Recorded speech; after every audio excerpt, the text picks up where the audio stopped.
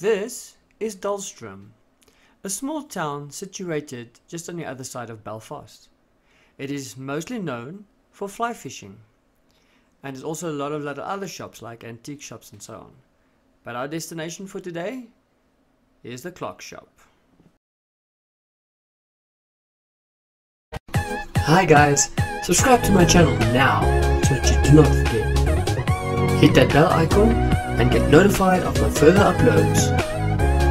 Lastly, feel free to comment. Show me some love by giving me a thumbs up at the end of the video. So is this the beginning or the end?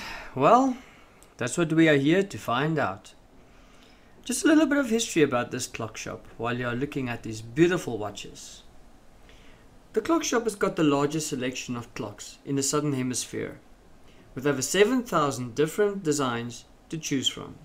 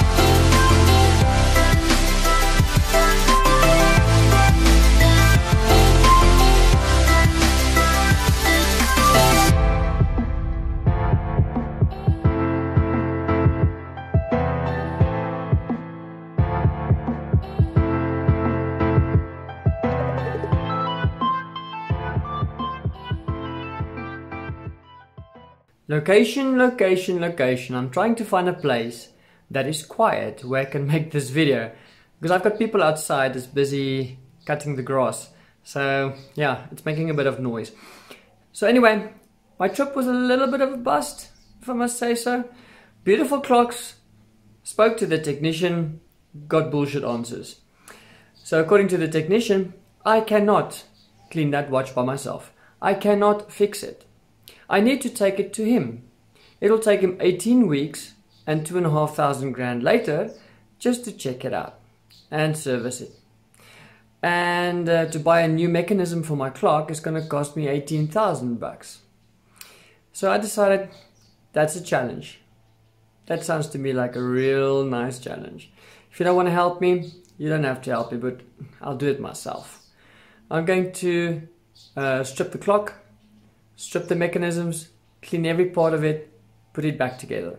At least that's one thing that me and the technician could agree upon is that I have to strip the clock because the, um, most of the oil and dirt has gone in between the gears and uh, just cleaning it on the outside will probably not clean it the way that it needs to be cleaned.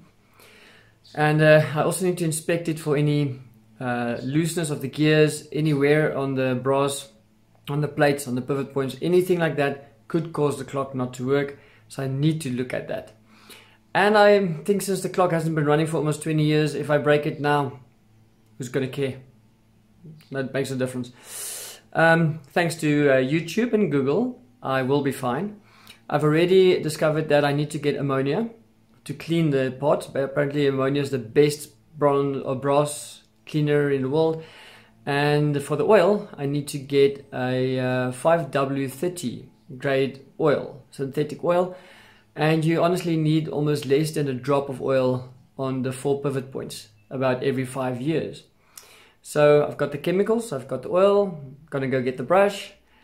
And then if you wanna see what I do and if it's gonna be uh, the beginning or the end, stay tuned. See you on the next video guys. And remember if you liked it, give me a thumbs up. Remember to subscribe to the channel and uh, hope to see you on the next one. Cheers.